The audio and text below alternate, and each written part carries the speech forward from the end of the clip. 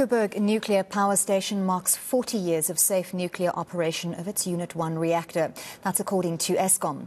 It was on July 21st in 1984 when Unit 1 was completed, the commissioning tests at 100% power, and entered into commercial operation.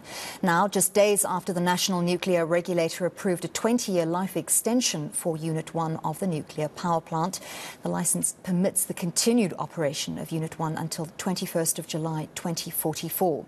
Former director for the National Nuclear Regulator, Peter Becker, believes Koeberg isn't very essential to the country's electricity supply starts off by saying Koeberg has uh, delivered 1,800 megawatts of reliable baseload for the last 40 years. So, firstly, that's a lie because Koeberg recently has been operating at about 50% because one unit's been down the whole time, um, somewhere between 50 and 60%, and it's performing worse recently than the coal fleet, which is performing really, really badly.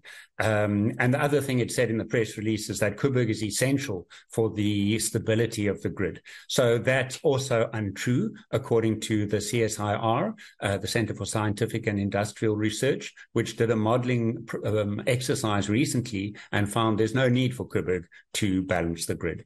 And then we need to look at the quantum of energy that's actually delivered by Koeberg. So at the moment, it's delivering about 920 because only one unit is up, and that's about 2.2% of national peak demand. So Koeberg uh, is not really very essential at all, as they're trying to claim in their press release.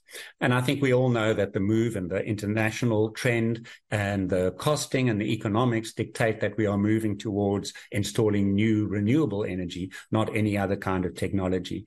And for example, just rooftop solar in South Africa is about six and a half gigawatts. Now you can't compare that directly because um, solar is is not operating during the night. But uh, just to give you an idea of the capacity, that's uh, more than six and a half times what Koeberg is delivering uh, at the moment.